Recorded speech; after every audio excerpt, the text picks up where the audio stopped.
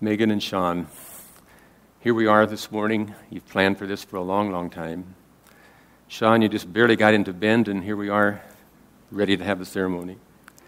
And I bet you both stand here with mixed emotions this morning relief, the end of all the preparations, Megan. Also, anticipation. You've dreamt about this day, and anticipation as you discover each other, and a certain amount of fear, a fear of the unknown. This is a life changing decision. You've chosen a road with no U turns. The ceremony that we're in right now will soon be over, but the marriage is a lifetime.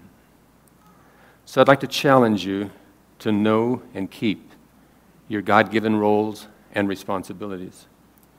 For you, Shawn, as husband, God has asked you to be a servant leader to lead like Christ.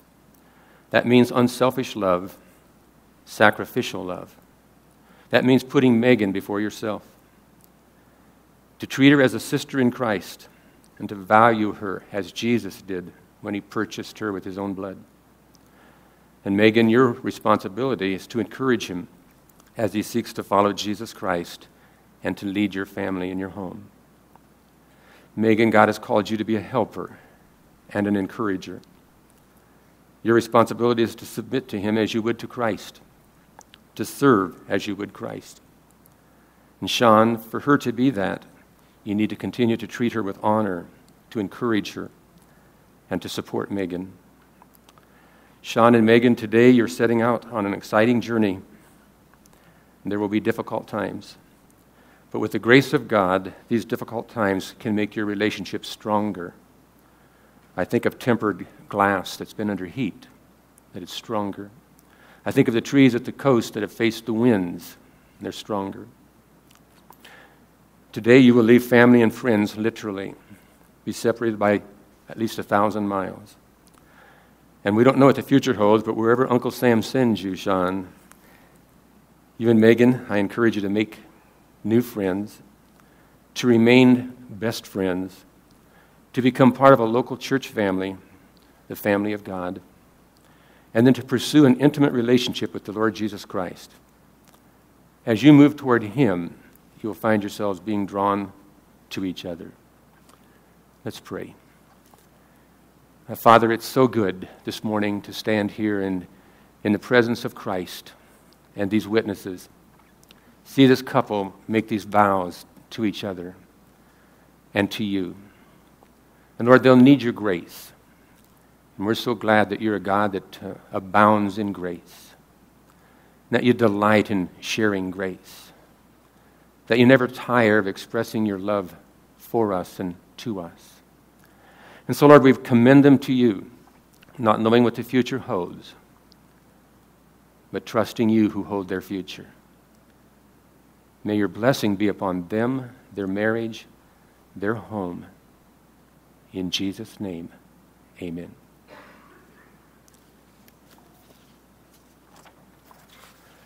Shawn, would you repeat after me? I, Shawn, take you, Megan. I, Shawn, take you, Megan. To be my beloved wife. To be my beloved wife. I promise to cherish you. I promise to cherish you. With an unselfish love. With an unselfish love even as Christ loved his church. Even as Christ loved his church. I promise to remain faithful. I promise to remain faithful. Through times of prosperity. Through times of prosperity. And in times of adversity. And in times of adversity. Through times of abounding joy and utter despair. Through times of abounding joy and utter despair. Through times of sickness and times of health. Through times of sickness and through times of health. I promise to seek God's will. Promise to seek God's will and His purpose for our life together. And His purpose for our life together. I promise to yield to you my heart. I promise to yield to you my heart.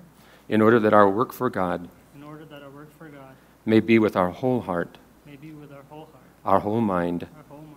And our whole being. Whole being. All this I promise you because I love you, Megan. All this I promise you because I love you, Megan. With a godly love. With a godly love. An abiding love. Abiding love. And an all-consuming love. And an all-consuming love even as Christ so loved you and so loved me. Even as Christ so loved you and so loved me. And Megan, would you repeat your vows to Shawn? I, Megan, take you, Shawn, I, Megan, take you, Shawn, before God and these witnesses, before God and these witnesses, to be my beloved husband. to be my beloved husband. I promise to cherish you I promise to cherish you with an unselfish love, with an unselfish love, even as Christ unselfishly gave himself for me. even as Christ so unselfishly gave his life for me. I promise to be your helpmeet, I promise to be your helpmate, your sweetheart, your sweetheart, your companion, your companion, and your co laborer in Christ. and your co-laborer in Christ. I promise to honor you as the head of our home, I promise to honor you as the head of our home, even as Christ is the head of his church. even as Christ is the head of his church. I promise to cling to you in loyal devotion. I promise to cling to you in loyal devotion. Through times of prosperity. Through times of prosperity. And through times of, po- times of poverty. and times of poverty. I promise to cling to you in times of strength I promise to cling to you in times of strength and in times of weakness. and in times of weakness. I promise to cling to you I promise to cling to you in times of helplessness and happiness. in times of helplessness and happiness. Whether thou lodgest, I will lodge. Whether thou lodgest, I will lodge. Whither thou goest, I will go. Where thou goest, I will go. And thy people shall be my people, And thy people shall be my people, and thy God my God. and thy God my God. All this I promise you, Shawn, All this I promise you, Shawn, because I love you because I love you, with a godly love, with a godly love, an abiding love, an abiding love, and an all consuming love, and an all-consuming love, even as Christ so loved you and so loved me. even as Christ so loved you and so loved me. We are gathered as a congregation this morning, and the first public act that Shawn and Megan wanted to participate in is to invite you to join them around the Lord's table. We call it the Lord's table because it's in His name. He's here present. We do it under His authority. Just as this ordinance, uh, Jesus left this ordinance with His followers to be observed wherever His followers gather in His name. And today we gather in the name of Jesus, under his authority, to celebrate the union of Shawn and Megan. The Apostle Paul illustrated the love, illustrated the love that a man should have for his wife by pointing to the love that Christ has for you and me. One of God's purposes for marriage is to establish a small church where parents model and pass along their faith to the next generation. So today, as a congregation, we gather to remember Jesus' death and to, participate, uh, and to anticipate his return. In a few moments, the ushers will come and bring you the cup and the bread.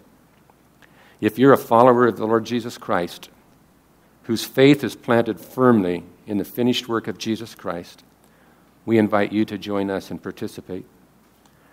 When you've been served, we ask that you please wait and we'll eat and we'll drink together. Would the ushers please come?